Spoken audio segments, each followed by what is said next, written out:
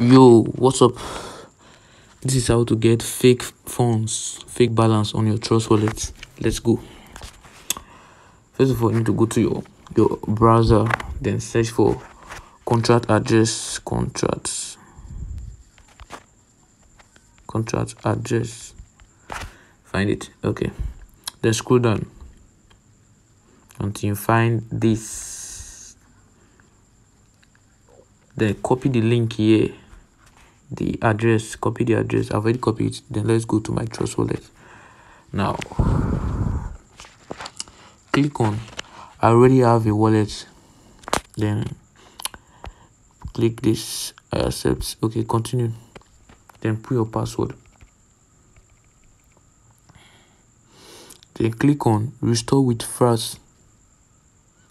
Then click bnb smart chain to continue then go to address here address. Then copy the link and paste the link here. You are free to go. Now refresh the wallet. You see? Look at the balance please. Follow me likes and join click the link on my comments on the comment section to join my whatsapp group for more updates